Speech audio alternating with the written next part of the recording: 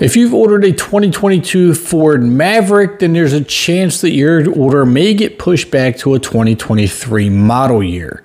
Ford has had an astronomical demand for the Ford Maverick ever since its release, and because of which they stopped taking orders earlier this year.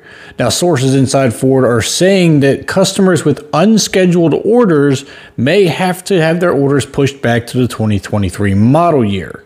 Now, Ford's Hermosillo assembly plant is in its early stages of changing over to the 2023 model year. So, those 2022 orders that cannot be fulfilled by then will be pushed back to the following model year of 2023.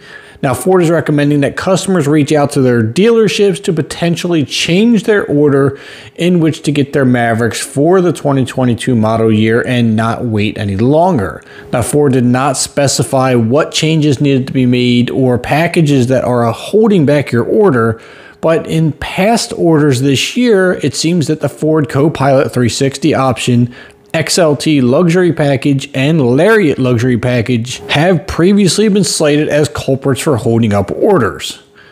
Now, they're also saying that 2022 Ford Maverick order holders are expected to receive a special private order discount in August, which will retain your 2022 prices on your 2023 model year conversions.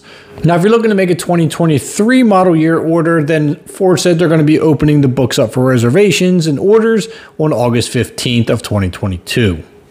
Now let us know down in the comments if you have ordered a Ford Maverick and if you've taken delivery of it and also what specs you have. If you have ordered one and have yet to take delivery, let us also know that down below and what options you have spec yours out with. Make sure on your way out to like, share, and subscribe. We'll see you in the next upload.